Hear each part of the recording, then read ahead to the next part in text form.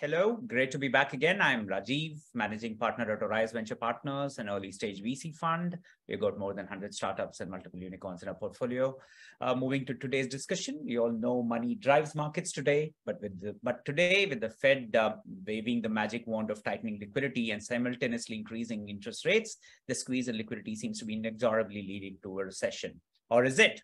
This is perhaps the best uh, setup for our guest speaker today, Michael, who specializes in this topic. Michael is the founder of CrossBorder Capital, which is an independent investment advisory and macro research firm specialized in monitoring of global liquidity flows. He has been working in the financial markets for 40 plus years. Um, um, you know, big names like Salomon Baring and uh, was a top ranked emerging market strategist by institutional investors for three years prior to setting up CrossBorder Capital. Michael joins us from London today. Um, uh, Today, we'll have a conversation about uh, global liquidity and capital flows in the global financial markets. Um, obviously, Michael has been the top-ranked emerging market strategist, so I'm not going to um, I'm going to put you on the chair for what you think about India as well, Michael, uh, in terms of uh, where things are going.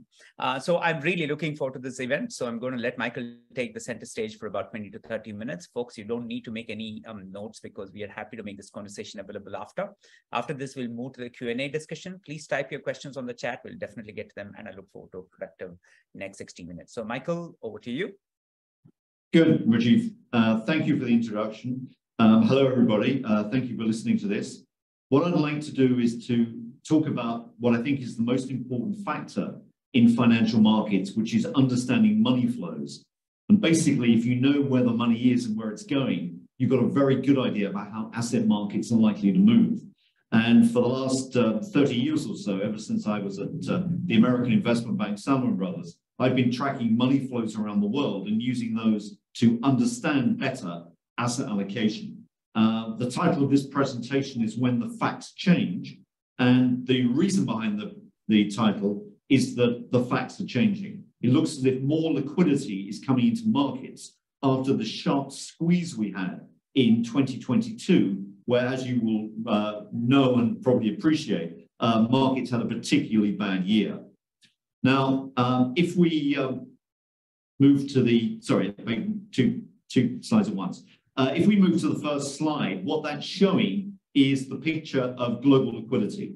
And what we're trying to argue here is that global liquidity is a big pool of funds. It's about 170 odd trillion dollars. Uh, it's um, roughly speaking, one and, a, one and two thirds times as big as world GDP. But it's really important because it is measures the capacity of capital in the system. And the reason that that's critical is that there is so much debt that has to be rolled over in the world economy that you need liquidity and you need balance sheet to do that. It's not the cost of capital that's critical, it's the amount of capital, the amount of liquidity that's in the system. And that's what we're tracking.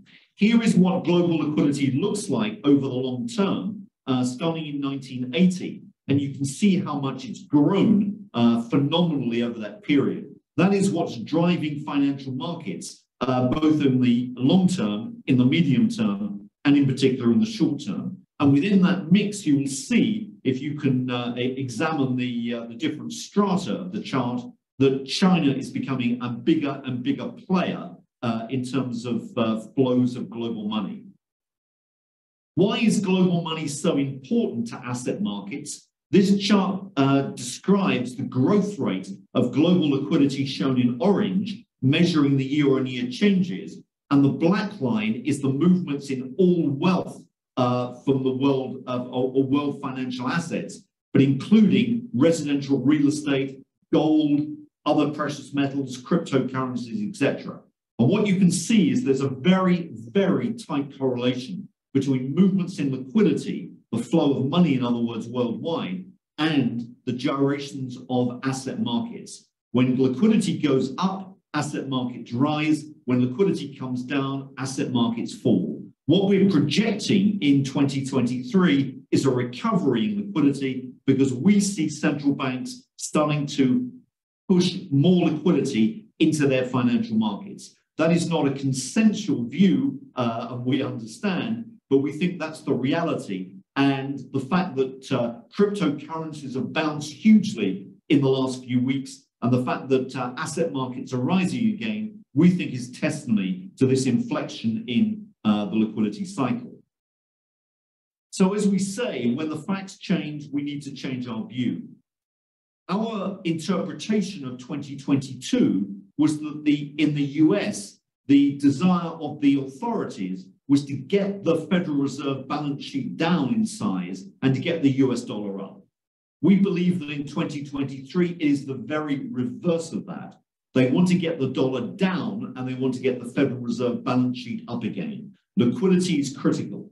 And that uh, box just below the uh, that statement is, uh, is uh, words from the Committee on Global Financial Markets from the BIS, the Bank for International Settlements. And what that's saying is uh, emphasizing how important balance sheet and liquidity are for the management of the world economy going forward. Um, that's what central banks are recognizing. And, you know, following the debacle in the UK gilt market in September, we believe that an inflection was put in in the liquidity cycle where central banks are now putting more cash to work. The conclusion we come to, what I'll try and articulate in the following slides, is that based on rising global liquidity this year, we expect the major stock and bond markets to generally be range bound. But unlike 2022, there are going to be some areas that show very, very strong absolute gains. Emerging markets are one of those areas we think. We think. And as I say here, the outperformance is really related to the themes of a weaker US dollar, the reopening of the Chinese economy, and stronger commodity markets through this year. Now let's put this into perspective. And the first thing we want to look at is how the global liquidity cycle moves over the uh, long term. This is a chart showing our data, which goes back to the year 1970 uh, in black, the black line, that shows the gyrations of money flows in the world economy. Um, as you can see, it goes up and it comes down. And that same gyration is the pattern that is replicated in financial and broader asset markets. The red dotted line is a sine wave that we've put on top of that, which tries to identify a replicating cycle that tends to last around six uh, to seven years. And that replicating cycle has just seen its trough in terms of the uh, dotted red line. But interestingly enough, the black line, uh, which is uh, the actual data, is following that uh, absolutely. So it would seem, even regardless of the COVID uh, boom and whatever one may call it, the subsequent crash uh, in markets in the last 12 months, it seems as if the cycle is intact. And that cycle is now restarting. And in our view, it's likely to expand now to a new peak around the back end of 2025. In terms of how we invest, let me just uh, share a couple of slides to show our philosophy. Uh, and as Rajeev said, we consult to many institutions worldwide uh, on asset allocation. We manage money ourselves in both fixed income and in equity uh, markets. The cycles that you see uh, on the slide refer to in orange the liquidity cycle, uh, which is what we've just been looking at, and the red line is the subsequent movement of the world real economy, how the business cycle moves uh, following that.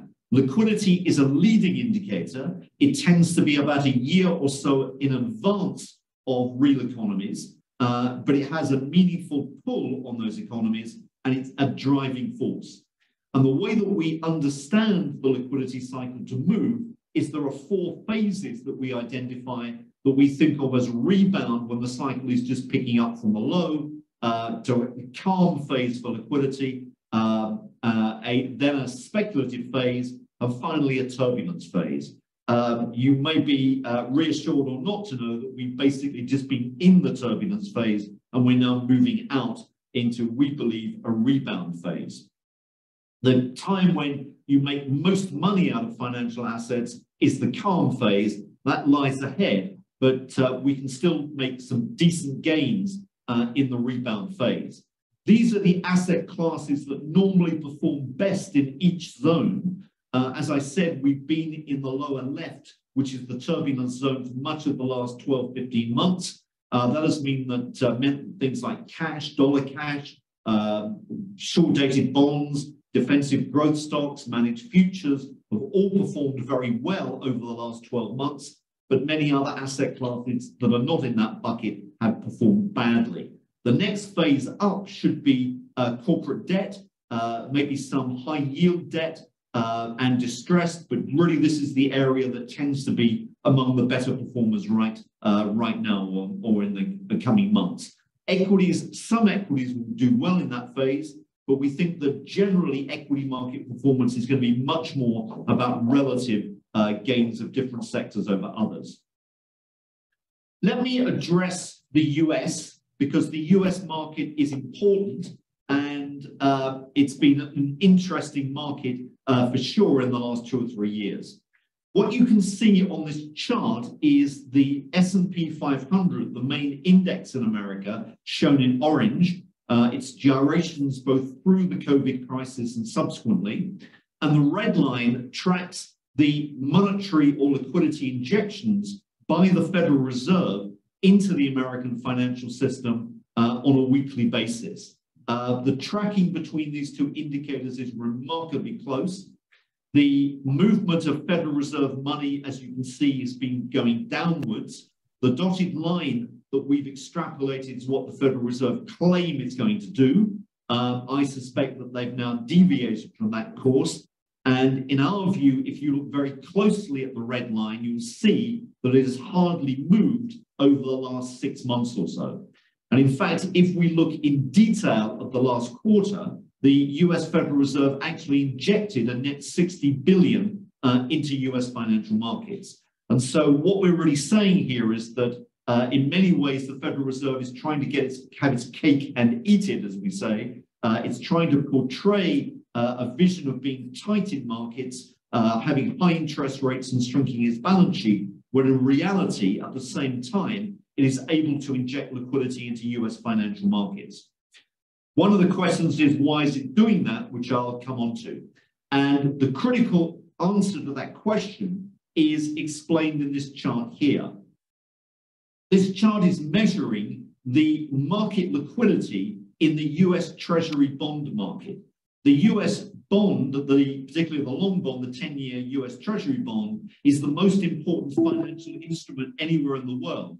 And what that, what that uh, long bond is basically telling us uh, is that in September of 2022, where you get the low point in the graph, that was when illiquidity in the treasury market was at its low point. There was no liquidity in the market. It was at the time of the UK gilt debacle, and essentially the American authorities panicked at that time because, uh, you know, even though there may be a storm in the UK, if there's a storm in America, it is far, far, far more important for global financial markets and the US. And from that point, that low point in September, the Federal Reserve have injected liquidity. And as a result of that, the liquidity in the US Treasury bond has increased significantly. So this chart is measuring market liquidity, market depth, the bid-ask spread or whatever in the US Treasury market. And you can see that it's virtually quadrupled or more uh, since that low point.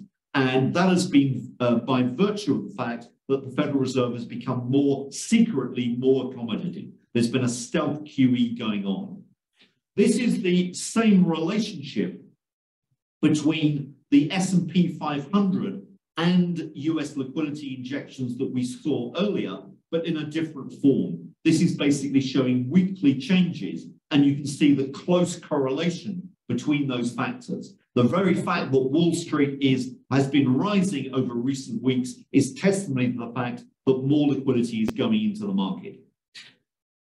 What is the US really planning to do uh, over the next 12 months or so? We think that liquidity will be uh, injected, further liquidity will be injected. We think we've seen an inflection point and liquidity will be rising from these lows.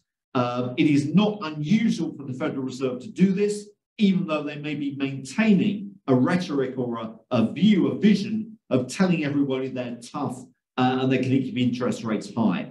Interest rates are a lesser factor than the flow of liquidity. Liquidity is all important. And what this graph is telling us is that uh, in blue, we show the current cycle in the US of what monetary policy is doing as an index between 0 and 100. So the scale of the tightening in 2022 is visible, but you can see that that cycle is beginning to turn up.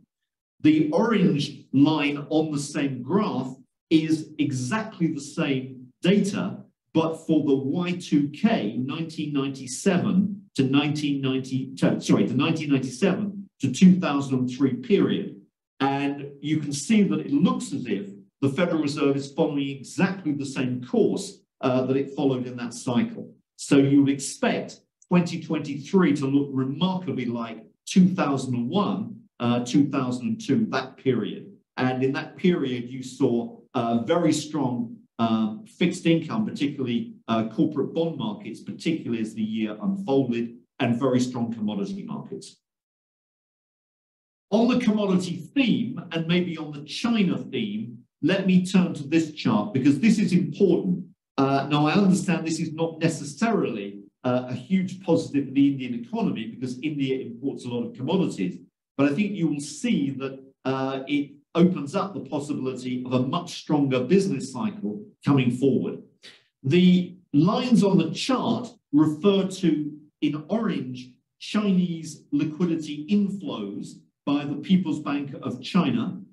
The black line, the solid black line, is the CRB Commodity Price Index, uh, CRB being the Commodity Research Bureau of the US.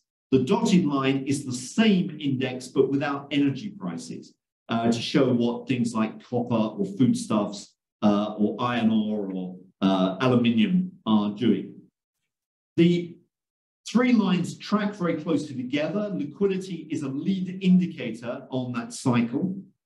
The Chinese uh, tightened liquidity very aggressively uh, through 2022, largely because the Chinese yuan uh, currency came under huge pressure from a strong dollar, and the Chinese were committed uh, to trying to stabilize the yuan. And to do that, the People's Bank ran a very tight monetary policy. What they've been doing um, since uh, the back end of last year is to inject liquidity. The solid orange line is what they've done in the last two months. December was a big month where they injected 1.6 trillion yuan into Chinese financial markets. Uh, to put that in context, that was uh, approximately four times the amount that injected in the previous five months. Uh, they've added another trillion or so so far in uh, January. So they're continuing that trend. And the dotted line extrapolation suggests that there's more coming if you keep that trend going uh, through the rest of the year. And that should elevate commodity prices further. We've already had quite a sizable jump through this year. So it looks as if the Chinese economy is restarting. That is going to be extremely good news for the Asian region because China is such a large economic footprint. What about the world business cycle? Where are we in the, uh, in the spectrum? The chart in front of you is basically looking at um, world business confidence, which is shown in orange. And this is an aggregation of all the major cycles worldwide. Uh, and the black line is looking at world shipping activity. Uh, so the two pretty much correspond. Uh, there is a sign in the latest data, which is December data, that world shipping activity and business confidence is beginning to lift off the lows.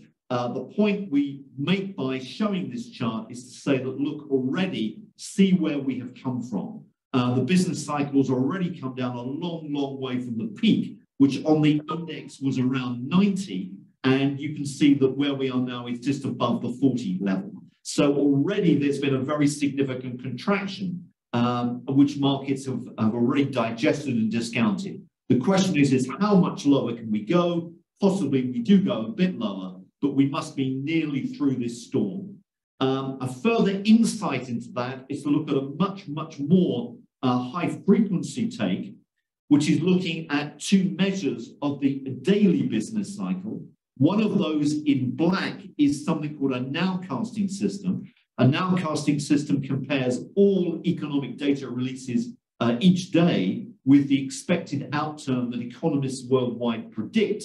And the black line is showing whether you're getting net positive or net negative surprises from those data releases. At the moment, we've got a rising trend in positive data surprises. And the orange line is an AI algorithmic projection uh, based on computers on a computer algorithm that basically uses lots of inputs such as uh, exchange rates of trade-dependent economies, cyclically sensitive commodity prices, uh, corporate credit spreads uh, to try and understand exactly what world economic growth could be on a daily basis uh, using real-time data. Those two data series more or less overlap. They're completely independent sources or gauges, but they're telling the same story. And you can see really from around October, uh, when the Chinese economy just began to reopen uh, through November and December, that you've got this big pickup coming in world economic activity. So although economists are very downbeat, we're optimistic that we may be somewhere nearer an inflection point than many of those uh, economists would currently suggest. This is another test of that. And those of you that are familiar with uh, the renowned American investor Stanley Druckenmiller, one of the things that he always says is that if you want to predict uh, economies, the best economist is the internals of the stock market. And what we show here is the internals of the US stock market in blue, which is the performance of cyclical companies relative to defensive companies. you can see that has been overlaid on our measure of the world business cycle in orange. And it would strike me that we may be getting an inflection point in the blue line, which will be telling us that economies are close to their low. So that must be a reassuring signal, particularly for emerging markets, which tend to be very economy sensitive. Let me finish on two themes. One of those is what's happening in the fixed income markets, and the other is then what is happening to the American dollar, which I think are two uh, very relevant factors for investment looking forward. This chart is uh, a chart which looks at the US 10 year Treasury bond in orange. Uh, the yield is marked on the left hand axis, and the dotted yellow uh, orange line is a 200 day moving average uh, across that daily data span you will see that it seems as if the bond market yield has peaked and it's moving down. Uh, financial markets don't move in straight lines, but generally speaking, we're probably assured that the peak may well be in now, uh, and that looks to be the case. The more disturbing factor, which is a slightly wonkish, uh, perhaps, uh, attribution, is to look at the black line below, which is what is called the term premium. The term premium is the most important concept within the bond markets, um, and it measures the premium or discount in this case that is given or provided to investors in bonds for taking interest rate risk. Now, to interpret that chart uh, in terms of what it's saying as minus 1.6% on the right hand axis, it's actually saying that if you're an investor in US bonds, you have to pay the market 160 basis points, 1.6 percentage points, in other words, to actually take on interest rate risk, which is hugely unusual. Normally, you're paid to take interest rate risk, but here you're actually having to pay the market for interest rate risk, which is an anomaly. And that's the hidden cost in buying bonds. Now, if I show you this chart, you'll see what is likely to happen in the bond markets looking forward. The term premium that I've just been speaking about is the orange line now on this chart. And the black line is the other component of the bond market, which is interest rated expectations. And you can read that black line as being what the Federal Reserve is intending to do, or what the market thinks it's intending to do with regard to interest rate policy in terms of Fed funds rates. Now, that figure on the uh, looking across onto the left-hand scale is just above 5%. So investors are expecting US policy rates to end up at about five and a quarter percent. That's probably fair in our estimation. From that point, they may well drop if the economy slows further, but I wouldn't promise and I wouldn't expect a particularly significant drop in rate expectations through this year. So we can say the black line remains elevated. The other component of the bond market is the orange line. And the orange line, the term premium, is at all-time lows. Um, the figures that you see there are the lowest recorded since data began in the early 1960s. So we've got, you know, something like 60, almost 65 years of data where what you're looking at is the lowest ever print. And at these levels, the term premium can only really go up. Now, what drives the term premium are number one, the issuance of treasury debt. And we know America has got a lot of treasury debt to issue. It also corresponds to foreign buying or foreign demand for treasuries. Um, foreigners own 30% of the US Treasury market, um, and I would doubt if they're going to buy a lot more in terms of percentage. And of that 30%, about one third is owned by China and Japan. Uh, the Chinese are unlikely to buy a lot more, uh, I would suspect, given the geopolitical outlook. Uh, the Japanese, given what's happening to the Japanese economy, uh, the prospect of interest rates rising in Japan, and the strength of the yen, would suggest that they're not going to buy a lot of treasuries either. So, in other words, that orange line is more likely to rise than fall in the next 12 months. And history tells us it typically mean reverts to zero. So, there's a lot of potential upside. If you assume that rate expectations will drop by 50 to 100 basis points at most this year, the black line comes down, I think that orange line will at least come up by that amount. And therefore, my estimation is the bond market, the treasury market in America will be a wash this year. In other words, it will just range sideways. There'll be good trading opportunities, but it's largely going to track sideways. Here is the yield curve in America. The yield curve is the spread between the 10 year and the two year bond. Um, the black line is measuring the yield curve. The orange line is our measure of US liquidity liquidity leads the yield curve. If you get an inflection in, um, uh, in liquidity, which we're getting, you would expect within six months that the yield curve begins to steepen. That steepness in the yield curve is normally a bullish sign for equity markets, particularly cyclicals. So, in other words, what the bond markets are telling us is entirely consistent with our take so far as to where we are in the business cycle. So in other words, you would expect to see an inflection upwards in the black line, and that would precede the world business cycle, uh, and it would coincide probably with much better equity markets worldwide, but particularly in cyclicals. So to reiterate our view, we expect the broad markets uh, of bonds and broadly of equities to range sideways with trading opportunities this year, but for a lot of outperformance in certain areas which is unlike what we saw last year, but outperformance from emerging economies uh, and outperformance from commodity producers and commodity prices as well. Cyclicals should do well.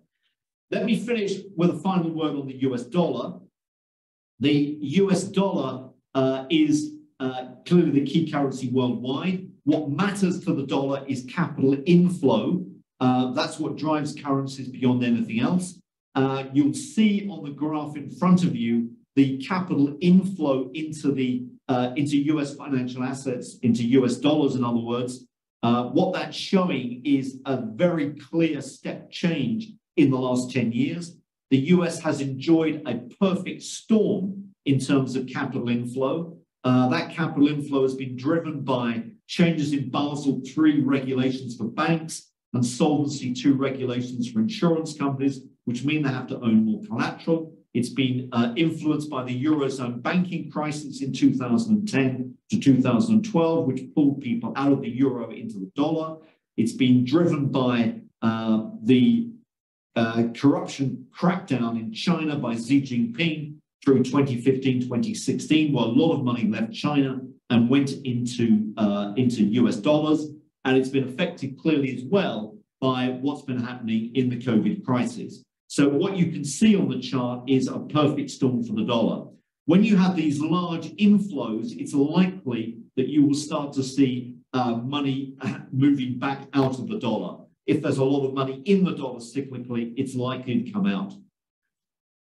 This chart is showing where we think the dollar will go. This is looking at uh, not just the trade weighted dollar index, the DXY, but the real version of that. In other words, with inflation differentials excluded, but that gives you a much purer trend uh, to what's happening in the markets.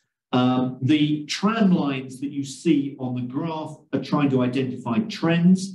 Uh, from 19, the early 1960s, there was a significant downtrend in the US dollar identified by that broad band. But what you can see more recently, really from the late 90s, is an uptrend channel that we've identified in the graph, which looks as if the dollar in real terms is, is moving higher over the uh, medium term. That can be explained by better productivity figures, in the US, maybe a better demographic profile than Europe or China, and maybe because of the America's te technological lead, uh, all suggest that the dollar is in uh, a rising longer term trend.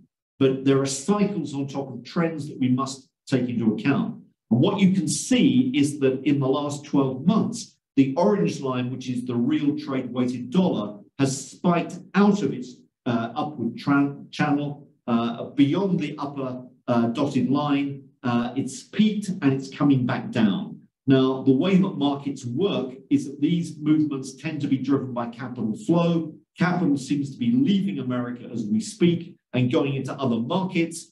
And as that happens, the orange line will come back down well into its channel and maybe test the lower band. And that is uh, representing something like a 20% adjustment downwards in the American dollar. Uh, we think we're around about halfway through that adjustment, so there's more to come. So, you know, in conclusion, uh, you know, what should you be doing in terms of investment? Uh, generally speaking, we are uh, favoring non-dollar currencies. We think emerging market currencies should be robust. Uh, we think that uh, financial markets will be uh, a lot more stable than they were last year, thankfully. Uh, we think that bonds will give a reasonable return, but not a gangbuster or a particularly exciting return. Yields in America will probably be around where they are uh, this time next year, uh, with possibly a little bit of downside in yields, but not much. Uh, equities, we think, are also trading sideways, similar to that in terms of big markets. It'll be, you know, trading rallies and sell-offs, whatever, through the year but certain areas perform very strongly. And I cited again emerging markets, China, uh, commodity prices, commodity producers, etc. Uh, within that, the ranking you see, if you can, uh, if your eyesight is as keen uh, as that, you can probably identify uh, different market areas. Uh, the orange bars are stacked in terms of where investors currently have their greatest risk exposure and where they have least being uh, contrarian investors, we like to invest where others are not investing. And therefore, we, uh, we like the lower part of that graph. Uh, you'll see that there's a number of markets that are quite interesting on that. Uh, the US is actually not that far uh, away from the lower areas, about the middle, as is India. China looks very well placed. A lot of the uh, the neighboring Asian markets are in that zone too, as are commodity uh, producers like Brazil, South Africa, uh, but it's really some of the more stable demand European markets that you see towards the top of the graph. That's what we, we're not so keen on. Cyclical markets like Germany could be quite good, but uh, you know that's broadly uh, the picture that we're, that we're in. So uh, that's, I think, the, the sort of essence of what we're saying. what I can do is to conclude at that point and maybe hand it back to Rajeev to see what questions you've got and how best I can uh, attempt to answer those. Thank you for your time. Thank you so much, Michael. I think that was fascinating. I think it's a great start to the new year because uh, this is amongst the most upbeat presentations I've heard in a long while, particularly given all the uh, predictions of recession that have been happening over the last uh, few months. So maybe what we will do is get started with that particular question. Uh, your charts themselves uh, have this yield curve inversion in play. The two to 10 year, uh, you know, treasury seems to be in a negative 50 basis point mark. And that sort of historically has always, you know, sort of indicated that there is a, you know, a fall coming. There's a fall in industrial activity coming down the line. Um, are you saying that that's not going to happen? Um, because obviously if the liquidity cycle is going to rise up, obviously we are sort of, you know, the soft landing element seems to be play. What's your what's your sense of where we are? Is there a recession or isn't there? Well, I think there, I think there are there are maybe three three angles to take on that. The first is that we've already had a huge drop in business activity, as I tried to show in an earlier chart, which I'll go back to. You've got to bear in mind that look where we started uh, at the back end of 2021. Uh, that business confidence index was up in the 80s, right? Uh, we're currently down in the low 40s. So in terms of just a pure metric, we more than halved in terms of business confidence. That's a very significant plunge. That doesn't say it can't go lower, and it probably will go lower in the coming months. But our view is that you'll likely see an inflection in business activity and business confidence probably within the next three to six months. Um, you know, say before um, you know midsummer that should occur. Um, same with shipping activity. Shipping activity is going to be slightly more uh, more leading, uh, perhaps, because China is a very big part of world trade, and the China reopening will have a very significant effect. So uh, shipping east also has dropped a lot, but that may all be inflecting early. So I think number one, you've got to bear in mind that we've had a lot of adjustment already, but the markets have clearly uh, told us about, but economists have been late in the game of sort of catching up with. So uh, that's one of the things to bear in mind. The Fantastic. second thing, sorry. I think, to, sorry, just to, to bring in another point about the yield curve is this, and that is that the yield curve is shown uh, in black. You're absolutely right to say that it's inverted. Uh, it is. But there's another factor to take into account uh, in terms of the inversion of the yield curve. One is to ask how good a predictor it is.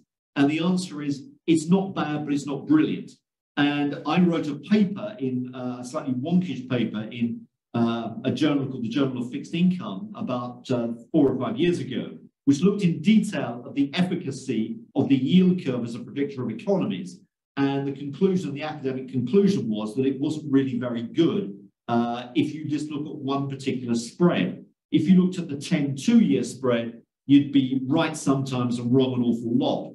Uh, at other times, the three year, one year spread or the 10 year, three month spread or the 10 year, five year spread work better. And choosing which one of those yield curves works is, is an art in itself.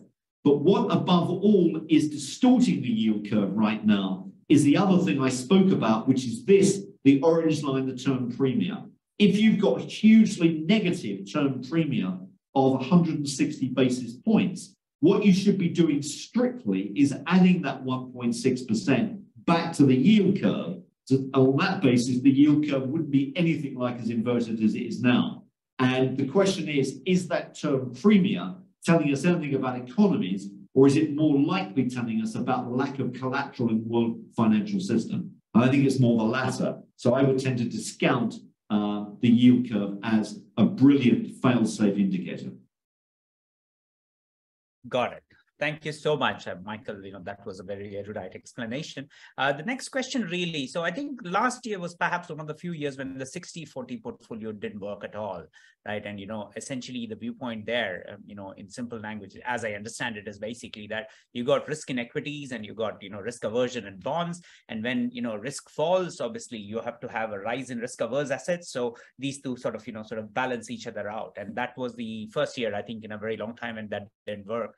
Perhaps perhaps um, you know um, you know and um, and uh, your slide 17 also sort of seems to be showing a head and shoulders pattern on the on the on the yields per se so that looks like the bonds are headed towards um, you know you know lower yields. That means the bond prices are likely to go up now. Does that mean that the the you know the 60 40 is going to start working again? You know what's what's your sense of this? You said it's sort of going horizontal as well. So what's your sense of this?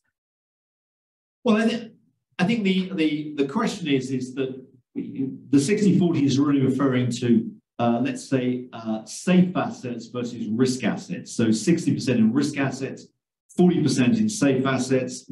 I think that's uh, that mix is one that's set in stone for everybody. The question really is what is the risk asset and what is the safe asset? And that's where the debate comes. So are fixed income uh, going forward a safe asset or a risk asset? And I would suggest that looking forward, a lot of fixed income are risk assets. Now, if you're a pension fund, uh, a regulated pension fund, or a regulated insurance company, or a regulated bank, You don't have any choice in that decision because the governments are telling you that those are statutory risk assets, sorry, safe assets that you have to hold. So you've got no choice. But if you're a, a retail investor, you have that luxury of choice. And I would suggest that Japan is the canary in the coal mine, if you understand that expression, that what you've seen in Japan uh, is what we all uh, will have to live with in the future. Japan is a leading indicator of everything, whether that be negative interest rates, whether that be QE, whether that be uh, disinflation, whether it be demographic issues, uh, etc. And Japan has just been through a period of yield curve control where they're trying to they're trying to manage yields and push yields at very low levels. Now, uh, to invest in the Japanese bond market is a nightmare because you can make lots of money and you can lose lots of money. And the JGB, the Japanese government bond, is a very, very risky asset indeed. So uh, going forward, I would say government fixed income is not the place I'd like to invest in, but I still want to have 40% uh, of my portfolio in safe assets. So what I would look at is to spread the risk into other forms of safe assets, and that may be things like uh, market neutral hedge funds, uh, it may be hold more cash, uh, it may be to buy defensive growth stocks, etc but I wouldn't be wanting to put a lot of money to work in uh, in government bonds because I don't trust governments.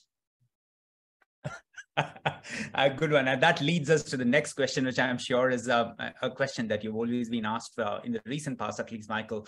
What actually happened uh, during the Liz Truss, um, you know, sort of, you know, that two, three week period when uh, uh all the pension funds in the UK basically said, you know, uh, give this up or else uh, we're sort of going belly up. If you could sort of help us understand that, because obviously what should have happened at that point in time is bond yields should have risen. I mean, you know, so what happened then? If you could sort of help us understand. Yeah, a, it's a, it's a, it's a complicated question, but let, let me try and uh, answer it as in the most straightforward way I can. The first error that was made was that the Bank of England did not raise interest rates when the market expected it to. Uh, I think that was in the beginning of September. And they decided not to raise interest rates, which was an extremely foolish thing to do. So the markets were on uh, hair triggers, if you like, uh, not preparing really to give the UK the benefit of the doubt in that uh, in that period.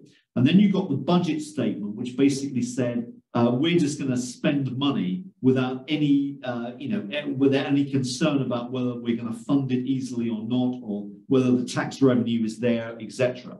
Now there may well have been somewhere in that decision some logic. Uh, in the sense that they felt that if they gave the UK economy a sufficient boost, after what had been years of austerity, and I think the austerity policy was wrong, by the way. So to move to something which was more pro-growth made sense. But the problem was they didn't do the arithmetic properly. And so the markets got spooked by a combination of the lack of interest rate rise and the fact that there was no proper fiscal discipline, and the UK gilt market sold off. Now, the external implications of that, as I'm trying to uh, uh underscore, were huge. And the US Treasury, in particular, I think, got spooked or very frightened by that. And that's why we've seen this stealth QE in America ever since to try and underpin the US Treasury market because that's so important. Internally in the UK, there was a problem. And there was a problem because the way the pension system had evolved in the UK, and this is not dissimilar from many other economies, uh, but the UK, because it's got a fairly advanced uh, pension management system uh, was actually further down the road in this than others. The UK had devised a system whereby, um, as you may know, and please stop me if this is becoming too detailed, uh, many uh, many pension plans in industry or corporate pension plans were underfunded in the sense that their liabilities to pensioners were greater than the assets they held. And therefore, uh, they faced the problem of either having to make cash payments into the fund, which was unattractive for the corporations, or what they needed to do was to basically run a higher risk mix in the pension fund by having more equities, and therefore they could meet their obligations or liabilities in maybe 10 years' time. And that's the route they chose. Now, to square that with the authorities, the authorities said you can do it providing you duration match um, your portfolios. That may be a, a, a, too technical term. what it means is to have sufficient uh, fixed income uh, exposure that you basically uh, will match uh, potential movements in interest rates on both liabilities and assets. And the way that the institutions, the pension funds got that exposure was by using off-the-shelf products that were provided by companies like Legal and General, uh, which were very leveraged uh, exposures to the bond markets. Those products had um, uh, in their terms uh, the need for collateral. In other words, that if the market sold off, you would have to post more collateral because it was leveraged. And that collateral was either more government bonds or more cash. Now, what they said in the small print was that the institutions may have, I believe, up to 90 days to give that collateral. What they had was something like nine hours uh, in reality. And so they had to find collateral very quickly to post against the volatility. And they basically used their existing gilts. So they sold their gilts, their government bonds, to post cash collateral. And that caused the market to spiral out of control. So it was all very technical, but that's what happened. And therefore, the Bank of England came in to give support to the market. one big margin call, then, right? So huge margin call that the Bank of England largely provided. Absolutely. Let's now switch over to the most interesting part for this audience, definitely. So it looks like what you're predicting is that India is going to, you know, sort of shoot through the roof. Um, uh, if not, if it were not for the commodity boom per se, which obviously is going to be a dampener for us. The dollar outflows are clearly, you know, positive. Emerging markets are positive. You know, global liquidity cycles are moving in the right direction. Um, obviously, there are some factors for India that sort of work well as well. But um, is that um, uh, is that uh, fairly true? I mean, is it uh, is it just India or is it going to be the entire basket of emerging markets that you see as uh, sort of sort of moving quite uh, quite aggressively? I think I think one's got to be realistic and say, look, uh, it, it's it's going to be all emerging markets that should benefit. Uh, you know, I've been covering emerging markets for a long time. Um, the last few years have not been very good, but that's really because you've had a combination of three things going on. You've had a strong dollar, which, as we said, has been almost a decade-long non-feature. A strong dollar is very negative for emerging economies. Secondly, you've had commodity prices which have been up and have been down, uh, but they haven't really had a strong trend. Uh, but that cycle now is going with emerging markets. And thirdly, really since 2015, you've had a very lackluster Chinese economy. Um, and the Chinese you know, boosted their economy hugely in 2008, but they haven't really done very much since then. But they are doing it again now. So unusually, perhaps, or fortunately, uh, you've got those three drivers all coming together this year. Strong China, strong commodities, weaker dollar. That's good for emerging markets. Cyclical emerging markets like China, Brazil, uh, the commodity producers like South Africa as well should do very well. India, I would suspect, will not outperform the emerging market universe this year because India tends to be more of a stable demand um, contributor. It'll still be a good performer, make no mistake, but I think you might get stronger performance in more cyclical markets, particularly those that have had a very rough 2022. India's had a good 2022 because it tends to be quite a defensive market. On a medium term view, uh, I mean, I, am invested personally in India because I, I believe the story wholeheartedly. But I think if you, with geopolitical changes underway, uh, the Indian economy has to be uh, monetized and strengthened economically uh, you know, for the uh, ambitions of America and the West uh, vis-a-vis China. So I believe that India is going to be uh, is going to fulfill uh, its true potential in the next decade or so. So I'm very upbeat about the Indian economy and the Indian market. But I would just hesitate to say that in 2022 it may not be the star performer in the emerging market universe, largely because it was last year and things don't necessarily carry through. Uh, but emerging markets generally, yes, definitely invest. So uh, thank you so much. That was uh, very sweet. I mean, base effects are going to make sure that India is not an amazing performance uh, this year. I think, uh, you know, uh, I think the commodity prices, as you said, are going to sort of have a bit of a dampener because we don't produce too many commodities, anything. Everything we have to do, we have to buy from outside. So I think that's one thing, which sort of brings me to the question about the dollar. You had a very strong viewpoint on the dollar and you said, uh, don't look at the DXY, look at, you know, the dollar real trade weighted index, right? So the DXY itself has sort of been going down, right? Since uh, it hit the 114s, 115s. It's now, uh, you know, sort of stuck at 102 right now. Uh, what do you think, you know, what do you think is leading to this outflow? I mean, is it, um, uh, where is this uh, coming from? Well, I think it's, I think there's, there's a number of reasons, Rajeev, why, why this is going on.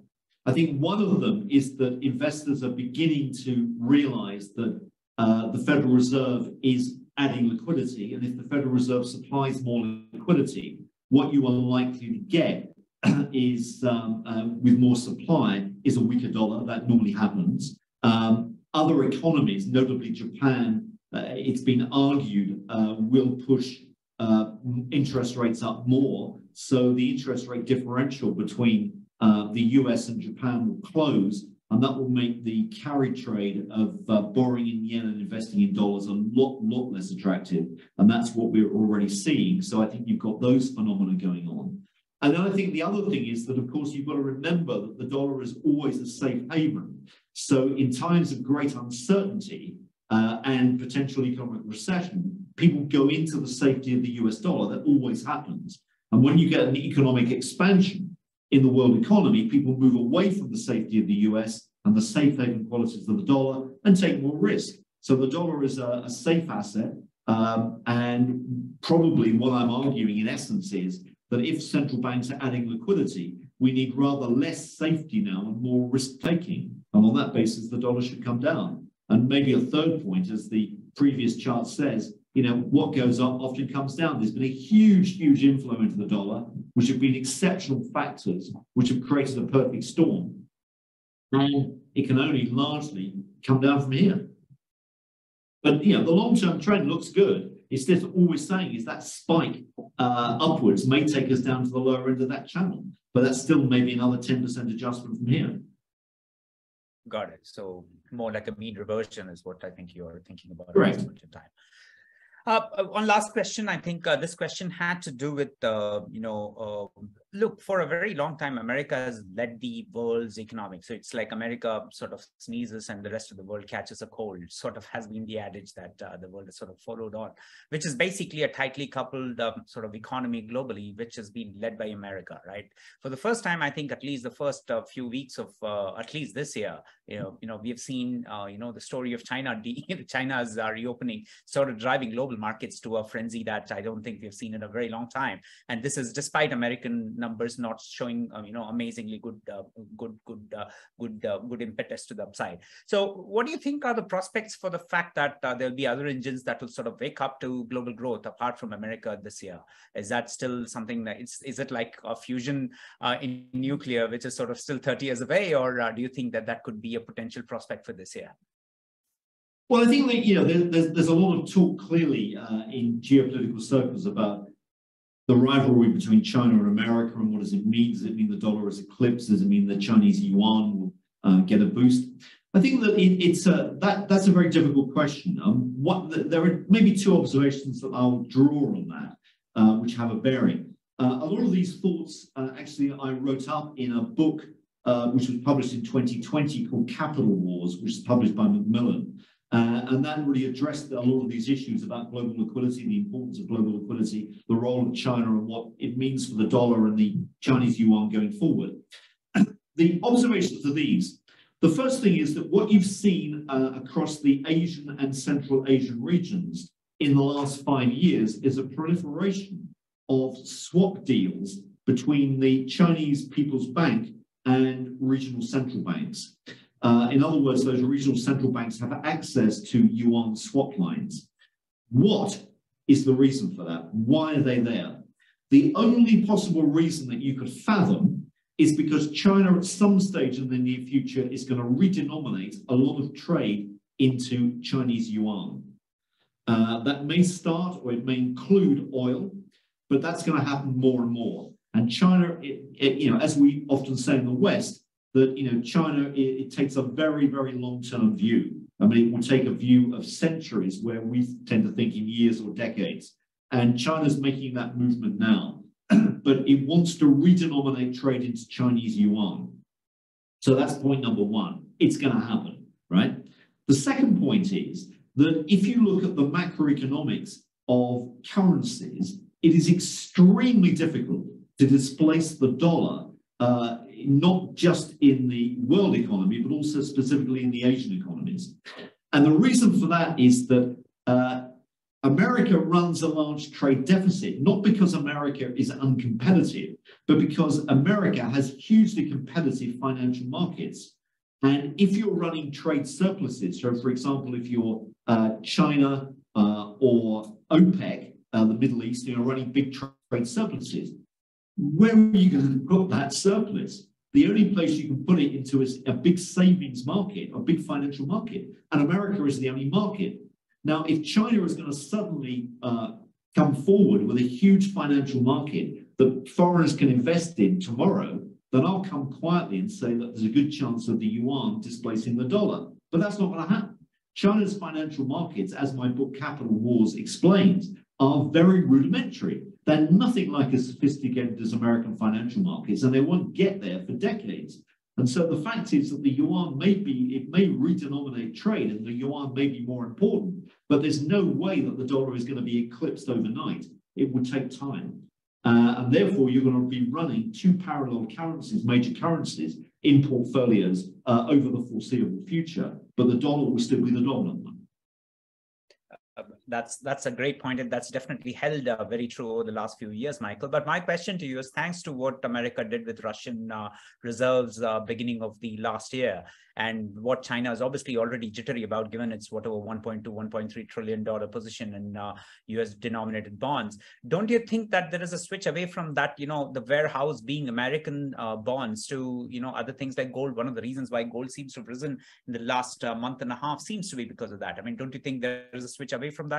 Obviously, there's no big market that can hold that kind of money. Even gold market is only about 11 yeah. trillion or so. Uh, uh, uh isn't I, there? Aren't there other markets, commodities, for yeah. instance? Well, I, I, agree, but the but the liquidity in these other markets is just not large enough to take the size of the surpluses that we're talking about. So as you as you pointed out yourself, Rajeev, that you know the gold market is important, and the Chinese will buy more gold. There's no question about that. The Russians will buy gold. That's all they can do. Uh, a lot of uh, a lot of treasuries uh, around the world buy gold. Gold is going to go up. Gold is an asset we like this year. It's a monetary phenomenon. Gold is, remember, is not a hedge against inflation. It's a hedge against monetary inflation, which is different. And if central banks are expanding, gold will go up. The Chinese are buying, that will push it up. There's no question. But the market's not big enough to absorb the size of these surpluses. Uh, they could put it into commodities, but you know, where do you warehouse all these commodities? Again, that's a problem. At the end of the day, uh, the US provides a very convenient uh, solution to a lot of countries, which is basically to provide treasuries. Now, uh, what I'm not saying is that the Chinese will increase their exposure to treasuries beyond uh, the percentage that they've currently got, uh, but they may well, in absolute terms, buy more treasuries. That that's that's a possibility. Uh, where else can they put it? Well, they can put it into FDI, foreign direct investment, and they can start investing in Central Asia. But the question is, I mean, the arithmetic of all this is that surely that's going to be supplied by Chinese companies. And that would mean that at the same time they do an FDI investment, they get a, a bigger trade surplus. So you're back to square one. So at the end of the day, what they've got to do is to invest in financial instruments or uh, other assets that other people, that sorry, the Chinese don't don't produce themselves, and that's either U.S. dollars or it's commodities like gold or it's oil. Uh, but you know the scope you're scratching around for things to think of and maybe euros. I mean, that's a possibility, but then that's probably why the Americans want to get Europe on side. Fabulous. I think that was a great, uh, great explanation, Michael. I, I, think, you know, the dollar still stands strong and tall. Uh, don't bet against it, I think is, um, you know, one of the last words really at this point in time. Thank you so much for such a fabulous session. Really enjoyed it. And Great um, pleasure. For, for folks that want to reach you, Michael, what would be the best way to reach you? Uh, our website's crossbordercapital.com. I've got a, a Twitter handle, uh, which is crossbordercap. Um, there's always lots of things on Twitter where we uh, we talk about markets and developments. Um, or you can look find us on LinkedIn as well. Um, so there's a lot of different avenues, but the website crossbordercapital.com is a good one. Uh, we produce research, we manage money, and if you're into this sort of uh, stuff about global liquidity, uh, you know, please read my book called Capital Wars. Thank you so much. We'll obviously put a link to the book on the um, notes um, on, on our social media circles as well. Thank you so much, Michael. Really appreciate it. And uh, look forward to the next session, hopefully face to face when you're in India next.